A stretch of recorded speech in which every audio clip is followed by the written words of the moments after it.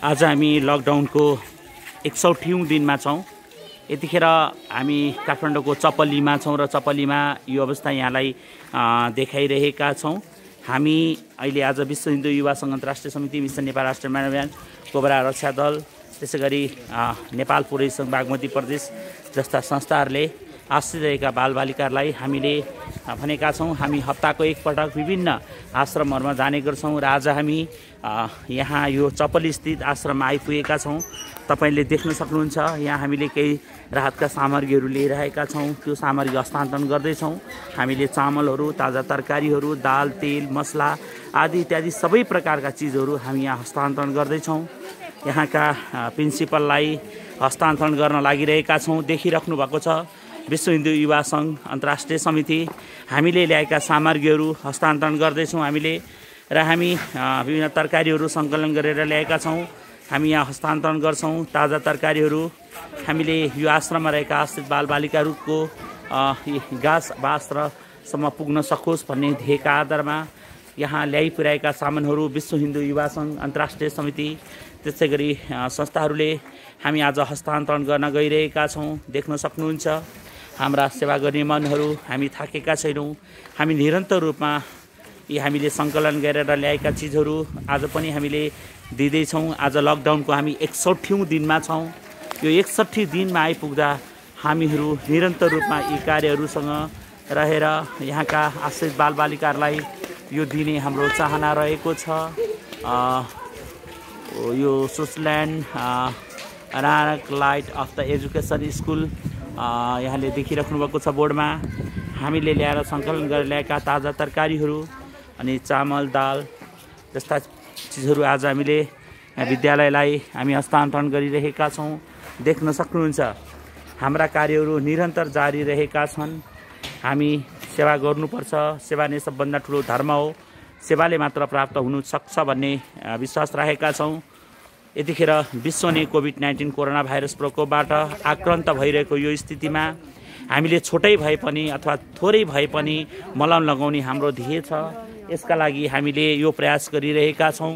यहाँले देखिराख्नु भएको छ हाम्रो प्रयास सानो हुनसक्छ तर पनि हाम्रो भावना पवित्र छ। भोलिका दिनहरूमा पनि हामी यसरी नै यी बालबालिकासँग जुट्ने हाम्रो प्रण छ।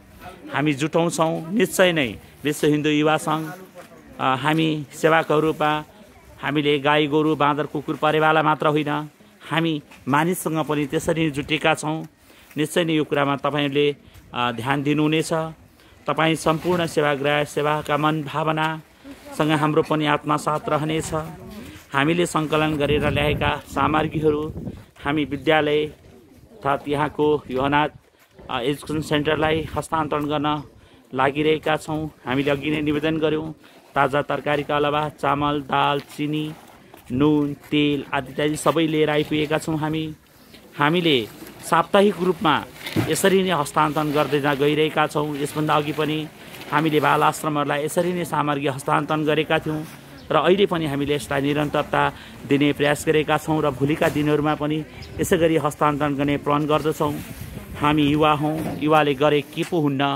परिवर्तन अहिले हुन्छ। हामीले नगरे कसले गर्ने अहिले नगरे कहिले गर्ने? हो यो भावना हामीसँग छ। हामीले निवेदन गरिहाल्यौँ। हामीले गर्ने भावनाहरू लिएर यहाँ आइपुगेका छौँ। तरकारीका अलावा हामीले आलु प्याज सबै प्रकारका तरकारीहरू जुटाएका छौँ। हामीले यो क्रममा यहाँलाई निवेदन गरौँ।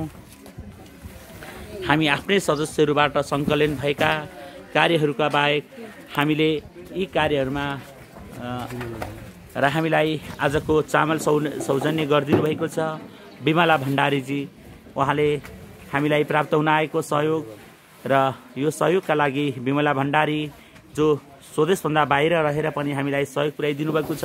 यसका लागि मन हृदयदेखि नै हार्दिक नमनका साथ उहाँको परिवारको उच्च उच्च उच्च उहाँहरूको मनोआकाङ्क्षा पुरा होस्। सदैव भगवान् श्री पशुपतिनाथले कल्याण गरून् अनि मन भएपछि साँच्चै नै सेवा गर्ने दिनहरू जाग्दो रहेछ। यहाँले देखिराख्नु भएको छ। हामीले ल्याएका सामानहरू थोरै हुनसक्छ तर भावना हामीसँग ज्यादै ठुलो छ। आदरणीय महानुभावहरू हाम्रा यी सेवा गर्ने मनहरू थाकेका छैनन् र थाक्दैनन् पनि।